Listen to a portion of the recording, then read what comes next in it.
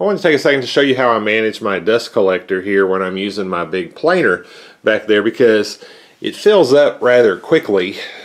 And used to so I've, i use this barrel to collect shavings before they go out. Actually they get blown outside but um, it, for most people it would be going into their dust collector.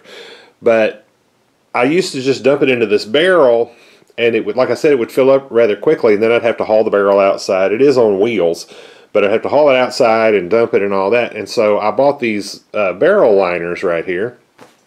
And you can see over here where I've got one that I pulled out of there. And so I line it with that so that then when I'm in the midst of planing boards, all I have to do is pull that liner out, throw another liner in there, and I'm good to go. Problem is, it'll suck the liner up and stop your dust collection. So it actually took me a few years to figure this out.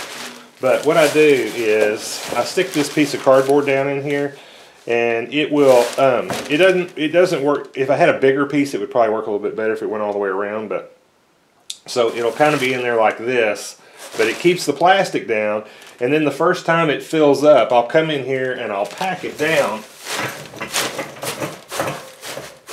like that and that pushes the cardboard out and then it'll completely fill up.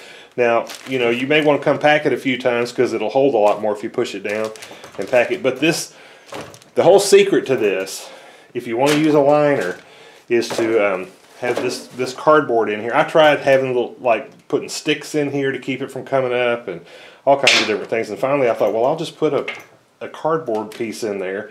And like I said if I had one a little bit bigger um, it may work a little better, but it uh, it works great um, the way it is. So anyway, I hope that's helpful to somebody. Thank you for watching.